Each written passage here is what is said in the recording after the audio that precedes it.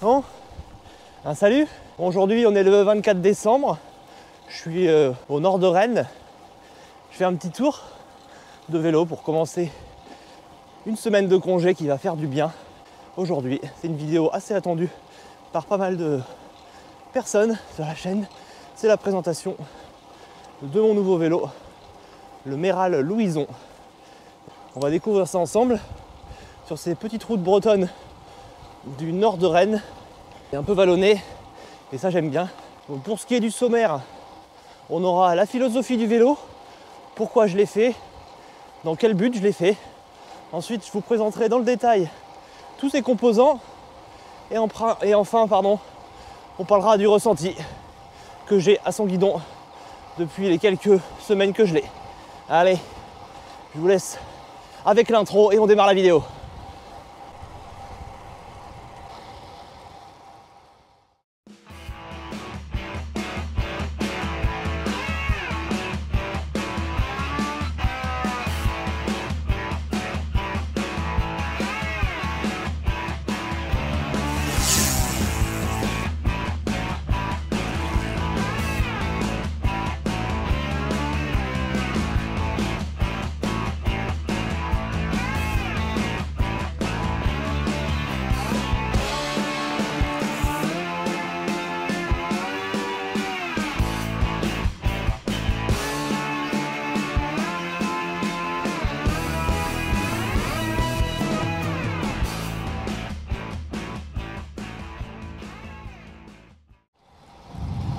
On arrive à Saint-Germain-sur-Île.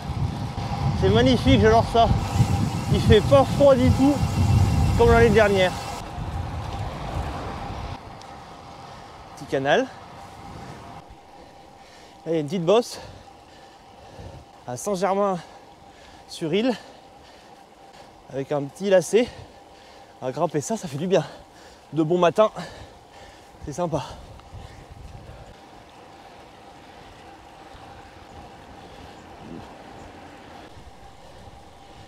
Et voilà, on est en haut, en haut de Saint-Germain-sur-Île.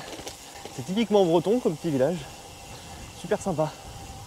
C'est sympa, j'ai vu pas mal de cyclistes.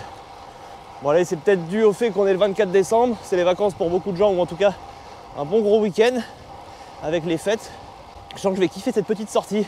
Normalement j'ai 76 km à faire aujourd'hui, histoire de, de se décrasser pour le marathon de réveillon. Allez, première partie. La philosophie de ce vélo. Pourquoi je me le suis fait?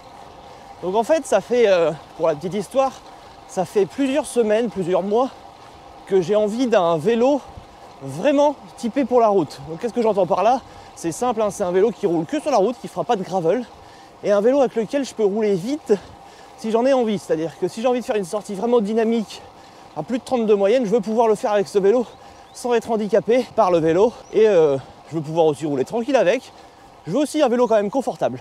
Mais l'idée, voilà, c'est ça. C'est vraiment un vélo euh, routier. Donc au début, il y a quelques mois, j'avais aucune idée de quel vélo j'allais prendre.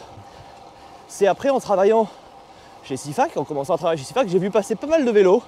Des vélos acier, des vélos carbone. J'ai eu l'occasion de tester des machines. Et puis je me suis orienté chez eux sur un vélo acier, c'est l'acier qui m'attirait plus pour le côté euh, confortable et le côté original de la matière, original euh, maintenant on va dire, avec des tubes ronds, un peu vintage, je trouve ça cool. J'ai réfléchi longtemps, j'ai regardé un petit peu, et c'est euh, en farfouillant que j'ai trouvé le Méral, le Louison. C'était vraiment le vélo de route en fait de la gamme Méral. Que les autres, bah, il y a les randonneuses avec Francis et Francette, il y a des gravel avec Hansel et Gretel, et après, pour la route, le Louison et le Louisette deux vélos vraiment dédiés à l'endurance, dédiés à la sortie route cyclo, mais aussi euh, à la longue distance. Il y a deux versions, il y a la version carbone et la version acier. Moi, de base, je me suis orienté vers euh, l'acier, ça m'attirait plus. Mais j'ai eu l'occasion de tester la version carbone, la nouvelle version, version 2024. Et honnêtement, si vous avez envie d'un bon vélo de route, dynamique, nerveux, rigide, mais quand même très confort. N'hésitez pas à aller sur le Louison Carbone, c'est vraiment une belle machine. Allez faire un tour sur le site, allez faire un tour au showroom à vous verrez bien. Bon, c'était mon instant promo. Ah, regardez comment c'est beau. Ici. Allez, petite descente et je vous reprends. Donc voilà pour la, la petite histoire. C'est tout simple en fait. hein. C'est des envies de vélo. Et en travaillant euh, à Sifac, bah, j'étais attiré par l'acier et par le louison. Donc au début j'avais regardé les kits cadres. Et après il se trouve qu'un de mes collègues vendait un louison euh, en taille M, couleur rouge, vélo complet, en occasion, mais qui avait quand même euh, très peu roulé au final. Donc bah, j'ai saisi l'occasion, ça valait vraiment le coup. Après j'aurais pu aller aussi sur un Sifac. Sifac 9 c'était trop compliqué parce que niveau budget, comme c'est des vélos sur mesure, c'était hors budget pour l'instant. Après il y avait des occasions, mais comme les Sifac c'était sur mesure, c'est un peu plus complexe. Les vélos sont un peu atypiques, on va dire. Alors concernant les objectifs du vélo, comme je l'ai dit, la première chose, c'est que le vélo, ça soit un pur routier. C'est vraiment un vélo destiné à la route uniquement. Ensuite, c'est un vélo avec lequel je veux pouvoir aller vite quand j'en ai besoin, mais que je puisse rouler tranquillement sans que ça me pénalise et sans que j'ai l'impression de rouler euh, à deux à l'heure. Il faut aussi qu'il soit confortable. Ça, euh, c'est depuis quelques années hein, pour moi. Je considère que faire du vélo, ça rime avec confort. Ensuite, je veux quand même qu'il soit léger. Je veux qu'il soit dynamique. Globalement, c'est ça. En fait, l'idée, c'est ça. Puis après, je veux qu'il soit beau. hein. Je veux qu'il me plaise. Donc voilà les objectifs de ce vélo. Et c'est pour ça que j'ai choisi cette bestiole, le Méral Louison Acier, édition actuelle. Et mon petit doigt me dit qu'il y aura peut-être une version dans le futur de cet acier. Mais ça, je ne vous ai rien dit. Fait très très beau, c'est agréable, il fait doux. Il doit faire 8 degrés. Bon allez, on se retrouve bientôt pour la prochaine partie de la présentation dans le détail du bike. Transmission, périphérique, cadre, roue. Allez, c'est parti. C'était sympa, vent dans le dos, à fond. Maintenant c'est vent de face. On peut pas tout le temps avoir ce qu'on veut. Je suis à 38 km. Mais en tout cas c'est une belle sortie, ça change un peu des routes du Loir-et-Cher.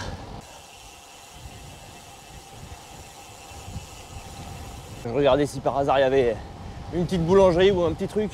Parce que j'ai complètement oublié mon ravito. Bah, je voulais prendre une banane et je l'ai oublié en partant, mais c'est pas grave. Je pense qu'on va faire sans. Je vais essayer de trouver un coin sympa pour vous faire la présentation du vélo. Et puis si je trouve pas, ça sera euh, en post-prod que je vous ferai ça. Il n'y a pas de souci, vous inquiétez pas. Montreuil-sur-Île. Il y a une boulangerie, mais il y a trop de monde.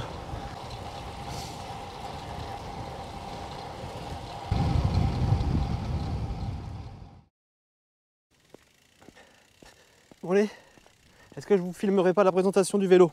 Bon, je suis sur une autre sortie, hein, comme vous pouvez peut-être le deviner. On n'est plus du tout dans les mêmes heures de la journée. Là, je vais me poser dans un petit chemin et puis je vais vous présenter ça dans le détail. Allez, je m'installe et c'est parti. Donc, je vais vous présenter un petit peu ça dans le détail. Donc, on va commencer par le cadre. C'est la partie maîtresse du vélo. Donc là, on est sur un cadre acier en Columbus Spirit HSS. Donc, c'est un acier euh, haut de gamme qui est vraiment rigide et performant et relativement léger, adapté pour la course. On voit le cadre, c'est un cadre classique de route avec des haubans quand même euh, surbaissés. Euh, après la géométrie elle est relativement classique, c'est un vélo fait pour euh, rouler vite mais aussi rouler longtemps et être confortable. La fourche, c'est une fourche carbone Columbus Futura alors je sais plus exactement c'est quoi le modèle, Futura Road je crois, je sais plus exactement. Donc ça, ça donne un petit peu de rigidité, de nervosité dans les relances, dans les virages. Ça, ça rajoute un peu du peps au vélo. Ensuite, au niveau des roues, on est sur des roues artisanales, donc c'est des roues euh, turbo. J'ai refait des roues chez Mathieu Bieloff. Donc là, je lui avais demandé des roues légères, dynamiques, euh, qui soient vraiment adaptées pour euh, aller vite, mais tout en gardant quand même un petit côté confort. Mais il fallait surtout qu'elles soient légères et dynamiques. Donc il m'a fait ces roues-là, qui sont des roues en 35 mm de haut. Si je ne me trompe pas, elles sont en 21 de large, mais ça je vous remettrai dans la vidéo pour pas me tromper. Elles sont en freinage patin, bien sûr, en carbone. Les moyeux, c'est des moyeux carbone TI. Donc c'est du super moyeux. Les rayons, c'est des euh, Sapim euh, CX Ray, donc du grand classique. Top du top ces roues. Elles font la paire sans les pneus, elles font 1,23 kg. Donc c'est vraiment très léger. Et avec les pneus et les chambres à air, je suis à 1,9 kg à peu près. Donc euh, autant dire que le train roulant il est léger, mais il est d'un dynamisme et d'une nervosité, euh, c'est super sympa. Le cadre, les roues et la fourche, tout ça, ça donne un vélo qui est à la fois confortable, adapté pour rouler longtemps, et en plus de ça, d'avoir un vélo qui soit dynamique, agréable dans les relances, euh, agréable en haute vitesse, et ça c'est vraiment plaisant. Donc ensuite, on va passer au périphérique. Donc on va commencer par le, poste de pilotage. Donc là j'ai un cintre Envy euh, aéro. Alors le modèle je ne saurais plus vous dire mais c'est un cintre en 40 euh, cm. Euh, là la partie haute elle est aéro donc ça c'est super. J'ai testé avant sur un autre vélo et j'ai adoré. Et c'est vrai que c'est agréable sur les longues sorties de pouvoir mettre ses mains ici. Ça change des tuberons. C'est vraiment sympa pour avoir du confort. La potence c'est une potence 3T, elle est en aluminium. Ensuite, au niveau de la tige de selle, on est sur une tige de selle 3T aussi, mais cette fois-ci en carbone, ce qui donne de la légèreté et puis on va dire un peu de rigidité euh, au vélo. Ensuite, la selle, donc ça c'est une pièce un peu, pas une pièce maîtresse du vélo, mais c'est une pièce qui va être un peu clivante. C'est une selle en full carbone, c'est une selle Coco Bike, euh, selle artisanale fabriquée en France en deux pièces de carbone et elle fait 68 grammes. Donc autant dire que c'est super léger. Alors là, il y en a plein qui vont crier, qui vont criser, ça doit pas être confortable, ça doit faire super mal au cul. Alors je vous le dis tout de suite, moi je l'ai testé avant sur une longue sortie de 200 km quand je suis allé à Château-Gontier, vous avez la vidéo euh, quelque part. Et j'ai testé cette selle, alors c'était pas exactement le même coloris, mais sinon c'était exactement la même selle, même largeur euh, et même style. Et je l'ai testé sur 200 km, j'ai eu aucun souci. Donc en fait là j'en ai pris une autre, pareil, euh, d'occasion à un collègue qui lui n'appréciait pas du tout cette selle au final. Il l'a gardé 50 km et en fait c'était plus possible pour lui. Et moi je l'ai, comme je l'avais testé avant et que je l'avais bien aimé, je lui ai racheté d'occasion. Parce que c'est des selles qui coûtent quand même assez cher. C'est une selle neuve qui coûte 300 euros. Euh, donc autant dire que c'est très très très cher pour une selle. Donc faut vraiment la tester avant. Mais moi j'adore vraiment cette selle. Elle a quand même de la souplesse. Hein. C'est pas une selle totalement rigide, mais elle est super légère et euh, c'est super agréable à rouler. Ce qui est périphérique, on est sur quelque chose en fait qui est un mix entre la rigidité et euh, le confort. C'est vraiment un mix des deux, un bon mix des deux, parce qu'avec le cintre, avec la selle, j'ai de la rigidité, j'ai de la vitesse, avec le cadre j'ai du confort, avec la fourche j'ai de la nervosité, avec les roues pareil, nervosité, vitesse, avec les pneus qui sont des René Hers, euh, là que j'ai chaussé, alors là ça je vous l'ai pas dit, j'ai mis des René Hers en 28 mm, les Chinook Pass, donc c'est des pneus qui sont super pour l'instant, moi je les adore. J'avais un peu hésité avant de les prendre parce que j'avais un peu peur qu'ils soient euh, très très fragiles parce que j'ai pris une carcasse extra light. Mais pour l'instant j'ai aucun souci. Alors je pense que les flancs sont tout de même euh, relativement fragiles. Mais bon sur la route je m'inquiète pas trop et j'ai pas eu de problème pour l'instant. Euh, je les adore, ils sont très confortables mais à la fois très très très dynamiques. Parce que je me suis dit, quitte à avoir des bonnes roues, autant les chausser avec des bons pneus, je trouve ça intelligent. Alors par contre c'est des pneus qui valent très très cher, ça c'est le prix est indécent. Hein. Le prix des pneus basiques en basique, on va dire en carcasse normale, ils sont à 80 balles. Les carcasses extra light, les pneus, le pneu à 100 euros. Donc c'est assez abusé le prix. Je me suis fait vraiment plaisir. Ils ont intérêt de durer longtemps parce que sinon ça va pas le faire. Mais euh, ça coûte deux fois plus cher qu'un pneu, on va dire, euh, normal de bonne qualité. Ça a intérêt de durer deux fois plus longtemps. Mais après, sinon, niveau qualité de rendement, qualité de confort, ils sont incroyables. Euh, les chambres à air, pour l'instant, j'ai aucun souci. Que j'ai mis dessus, c'est des Tubolito, elles sont très légères. Euh, le confort, je pense que les latex sont plus confortables, mais ceux-là font très bien l'affaire, elles se font oublier complètement et j'ai pas eu de soucis pour l'instant. Donc ensuite la transmission. Donc là la transmission, je suis sur une transmission de pur routier. Euh, j'ai mis un, j'ai mis. Le vélo était avec un plateau de 50-34 et une cassette de 11-30. Donc c'est du classique routier de base, mais c'est très bien. Moi, ça me fait travailler un peu la force, ça change un peu du chirou je travaille beaucoup la vélocité. Donc le pédalier c'est un Praxis euh, avec des manivelles en carbone. Je vous mettrai le modèle du, pédalier parce que je ne sais plus euh, exactement. La cassette, c'est une cassette Ultegra. Euh, au niveau du dérailleur arrière, quoi, un dérailleur arrière du Race, donc je l'ai mis, plutôt pas mal. Alors je l'ai mis parce que je me suis fait plaisir, c'est pareil. Hein. J'ai gagné, je vais gagner 30 grammes et puis une chape en carbone et puis peut-être 2 watts. Mais bon, c'est surtout parce que voilà, j'ai trouvé une bonne occasion sur le, sur le bon coin en neuf, donc j'ai saisi l'occasion.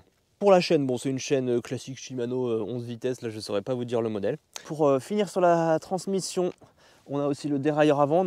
Donc là je suis resté sur un dérailleur avant Ultegra, le dérailleur de base, donc très bien, ça fonctionne bien. Peut-être qu'un jour je prendrai un Durail si j'en trouve une bonne occasion sur le bon coin, mais on verra pour l'instant, je reste comme ça. On a les pédales, donc les pédales, là j'ai des Durace, j'ai trouvé ça pareil sur le bon coin en neuf. Alors j'ai pris les Durace que je voulais retourner sur des cales de vraiment de routier euh, pour avoir du rendement, une bonne transmission de, de, la puissance dans le pédalage. Donc je me suis dit allez on va repasser en SPD parce que les Crank Brothers sont très bien, très polyvalentes pour la longue distance, le VTT, le gravel, mais c'est vrai qu'en route, bon, elles ont quand même de la souplesse, elles sont pas, c'est pas le meilleur rendement. Donc euh, je suis reparti sur des pédales classiques SPD. Donc là j'ai pris des Dura-Ace en carbone, euh, c'est vraiment du top du top, elles sont très légères. Et avec ça, bah, j'ai des chaussures, bon c'est pas le vélo, mais j'ai des chaussures CD que j'ai eu à Noël, petit cadeau de Noël. Donc des chaussures routières, pareil, mais elles sont vraiment très bien. Là c'est la première fois que je les utilise, j'ai réglé mes cales comme il faut. Là je fais la sortie de réglage. Ensuite, on va passer au freinage pour terminer. Donc le freinage de base, c'était de l'Ultegra à patin. Euh, pareil, le bon coin, j'ai trouvé des, freins d'occasion en Dura-Ace. Donc j'ai mis ça, ça freine super bien avec des patins adaptés aux jantes carbone. C'est super. Après les patins, on a euh, les manettes, les shifters. Donc euh, là, pareil, hein, je suis resté sur les shifters de base des, des Ultegra, euh, ça fonctionne bien, c'est léger, c'est agréable. Peut-être qu'un jour on passera en Dura-Ice, mais on verra. Pour l'instant, je reste comme ça. Donc euh, voilà pour le vélo dans son détail. Et oui, avant que j'oublie aussi, il y a quand même quelques autres petits trucs que je peux dire. Au niveau du JDD, on est sur un jeu de direction Chris King. Donc ça, autant dire que c'est plutôt pas mal. Hein. On est sur des très très très bons roulements, quelque chose qui va durer. Pareil pour le boîtier de pédalier, boîtier de pédalier Chris King. Voilà, voilà, c'est ça que j'allais oublier. J'ai hâte de le tester sur longue distance. À l'heure actuelle, normalement, là, on est mercredi et dans deux jours, peut-être demain, mais sûrement dans deux jours, donc vendredi, je vais faire une longue distance de 250 km avec ce vélo pour tester euh, s'il est capable, en tout cas si moi je suis capable de rouler avec 250 km. Le poids exact, là, je l'aurai pas, mais on doit être, on est en dessous des 8 kg. On doit être à 7,95 kg, je pense, parce que je l'avais pesé. D'autres pédales que c'est du race. Euh, et l'autre dérailleur, on était à 8 euh, kg tout pile, euh, sans les gourdes, mais avec les porte-gourdes. C'est un poids plutôt honorable pour un vélo en acier. Donc là, j'ai mis des nouvelles pédales plus légères de quelques grammes et un dérailleur aussi plus léger, donc normalement je dois être un peu plus léger. Donc 7,95 kg. Au-delà du chiffre, c'est quand même un vélo qui est, qui est, plutôt bien parce que son poids fait que ben voilà, je peux l'emmener quand même un peu partout euh, parce que le braquet, bon même s'il y en a qui ont des plus gros braquets que ça, moi je trouve que c'est un bon gros braquet du 50-34, je trouve que c'est très bien. Euh, ça, ça, permet vraiment d'envoyer euh, sur la route. Donc voilà pour la présentation dans le détail. N'hésitez pas, si vous avez des questions, vous les posez en commentaire, vous faites vos commentaires. Vous n'hésitez pas à partager vos, vos retours là-dessus si vous en avez, partagez un peu votre vélo à vous, ça pourrait être sympa. Et puis voilà, moi je vais continuer ma sortie, euh, je vais vous faire la troisième partie qui va être mes ressentis, on va retourner en Bretagne. Moi je vous laisse là, je finis ma sortie blésoise, parce que là je suis à côté de Blois. Et puis euh, on se retrouve pour la suite. Arrivé sur Aidé Bazouge.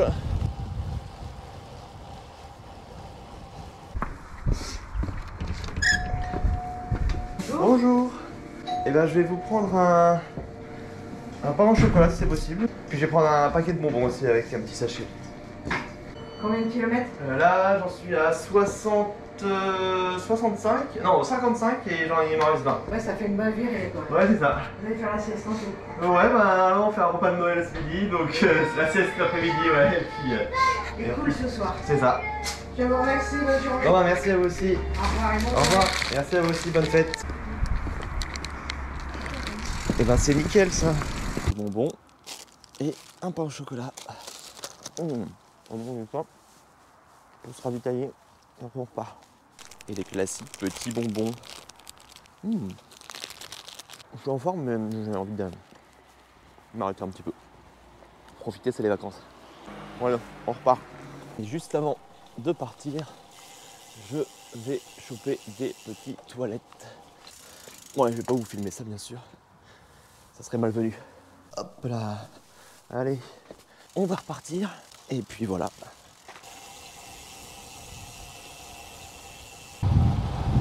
Sympa.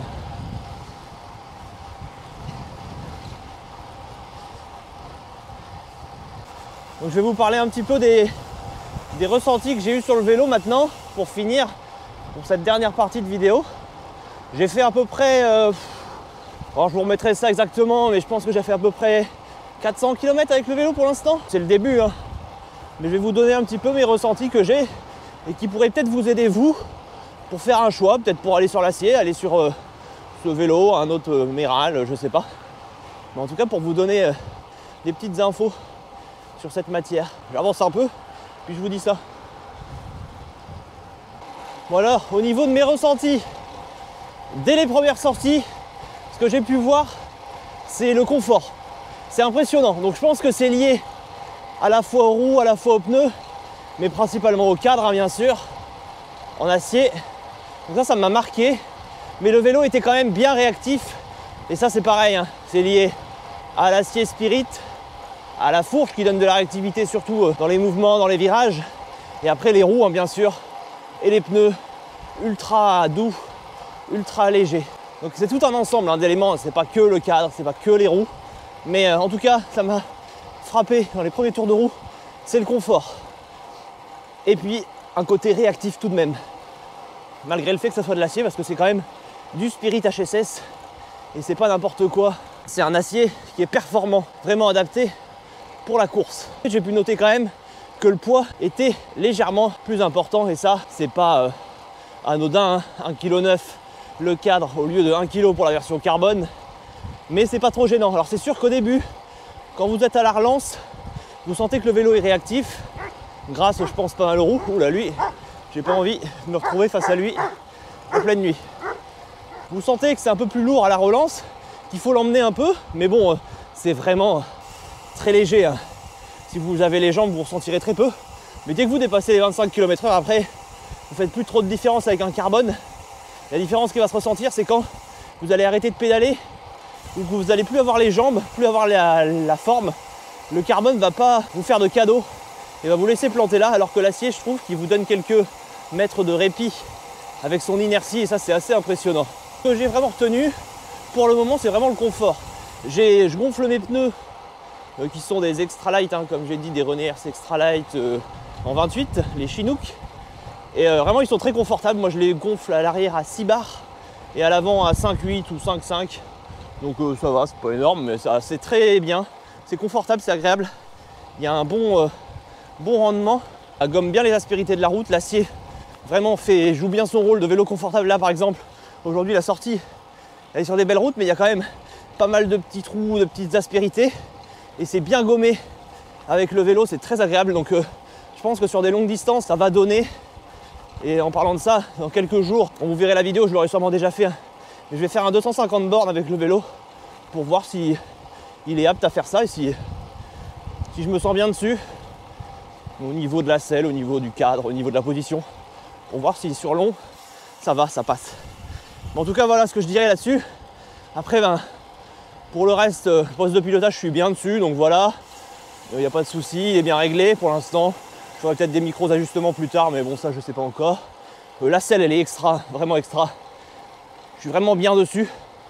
C'est une top de selle. C'est un budget si vous l'achetez neuve. Par contre, ça, c'est sûr. C'est même un peu indécent, mais sinon, c'est vraiment bien. Après, faut tester avant, bien sûr. Mais moi, c'est ce que j'avais fait. Et j'en suis pas mécontent. Après, pour les périphériques, hein, bon, bah, voilà. La transmission, elle est super. J'ai fait quelques modifs. Hein.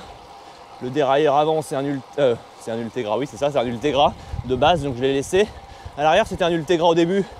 Là, j'ai mis un Dura-Ace. Voilà, c'est un peu des gains marginaux. Je me suis fait plaisir, j'ai trouvé ça sur le bon coin pour gagner 20 grammes et puis voilà. Euh, après, les freins, je suis passé en Dura-Ace par rapport à de l'Ultegra avant. Ça freine vraiment bien hein, sur des super jantes carbone turbo.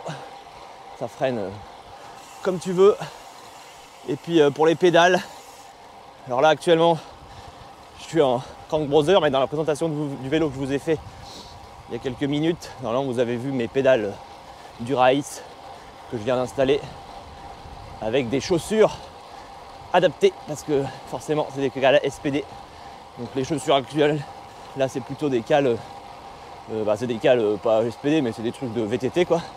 Là maintenant je suis passé sur des trucs de route vraiment type route. Arrivé à Mélès au bout de 70 km et 616 euh, mètres de dénivelé.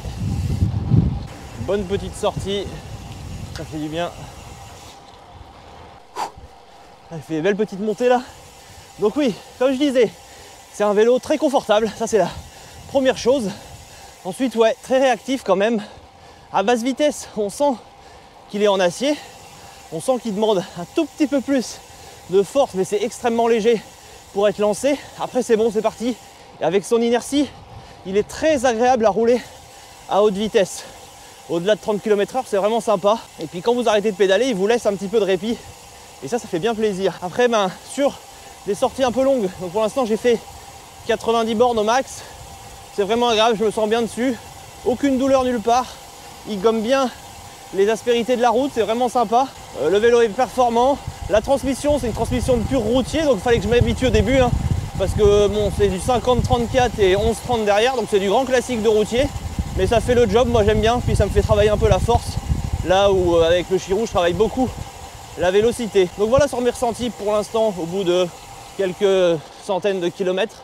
Je vous ferai sûrement plus tard, peut-être d'ici un an, ou plus un, un ressenti global vraiment du vélo. Mais en tout cas, moi je peux vous dire que c'est une bonne machine. Si vous voulez du confort pour rouler longtemps sur de la route, et puis avoir quand même de la performance quand c'est nécessaire, parce que moi avec, hein, je peux rouler quand même assez vite si j'en ai envie. hein. J'ai fait des sorties assez rapides avec. Et ça c'est assez grisant quand même, j'aime bien. Que, allez, allez, sur le Louison, hein. testez la version carbone si vous pouvez, parce que la version carbone est vraiment très confortable aussi. C'est juste qu'elle vous laisse un petit peu moins de chance quand vous n'avez pas la forme. Mais ça je trouve que ça vaut pour beaucoup de vélos carbone. Et après c'est un super vélo, moi pour l'avoir testé, euh, c'est une belle belle belle machine. Mais sinon bah l'acier si vous êtes plus attiré par l'acier. Allez, moi je vous dis à la prochaine, roulez bien, amusez-vous bien, bonne fête de fin d'année euh, a posteriori. Et voilà. Allez, je vous dis à plus et je vous laisse sur quelques images de fin de sortie.